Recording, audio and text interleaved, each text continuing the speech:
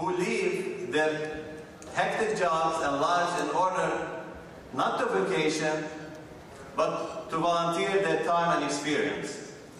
Their service to the Palestinian community are worth hundreds of thousands of dollars, which they give for free. It is crucial that this program, as well as a commitment to fundraising on the level of our federation, that our federation deserves, continue in the future. The executive director position will help ensure this continuity. We are creating a committee for developing a five-year strategic plan for the Federation. We will be contacting different members of our communities to get their participation and input. We hope to tap into their experiences and professionalism as means to enhance our progress in the future. Our website has been improving and now includes much more materials. We are now posting the Hadiya Ramallah magazine on our website. I am very proud of the success of the Ramallah Memories, the project that you can find on your YouTube, where the memories of our elders are being taped in an attempt, in an attempt to preserve our heritage and tell our stories. We hope that there soon will be a representative from every family included. I'd like to thank uh, Dr. Maher Ajloni and uh, Maher Ghannam, sorry Maher, and uh, David Ghannam for their vision and hard work in making this new program happen.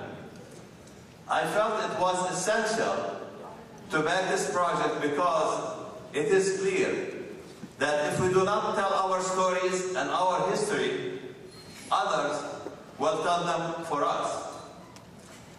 I think we all feel blessed to have immigrated to the United States, where we have become a part of the mosaic of the immigrants from all over the world, and are proud to call themselves Americans. We have benefited from being here in calculable ways. Arab Americans have a higher education level and income than the average American. Our Ramallah community is no exception. Most of, our, of us are quite successful in many fields, such as education, business, arts, and many other professional fields. But it is important for us to give back to the less fortunate, both in this country and in Palestine. I would like to express my deep appreciation for the many members of our communities for their help and dedication to ensuring the success of our federation, including those who opened their homes to my wife and I as we travel to the various communities throughout the year. Thank to the Executive Board for all their valued help and dedication throughout. I would like to thank the Convention Chairman, Jacob Cash, and his committees, the club president, Isa Harb, and his board members, and the entire Cleveland community for putting on this wonderful convention. I would like to congratulate our incoming president, John Yuruka, and his wife, Joy. Johnny, I wish you the best of luck, and you know you can count on me. I would like to congratulate Terry Morris, Ahmad Morris, on her position as our next Deputy President. Congratulations.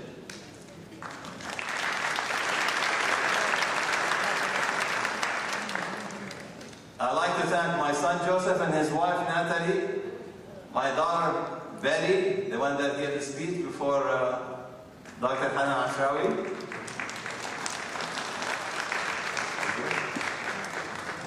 I also must acknowledge my brothers and their families for giving me a year off from work this year. Thank you, guys.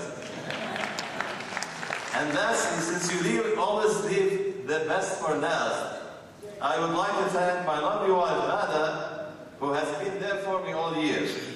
If it wasn't for you, I honestly could have done it. Thank you, Jaime.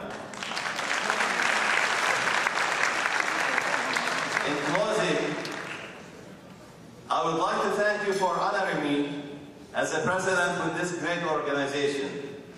You can count on my continued involvement and support. Hope to see all of you in Washington, D.C. in 2011. God bless all of you and have a safe report. Thank you.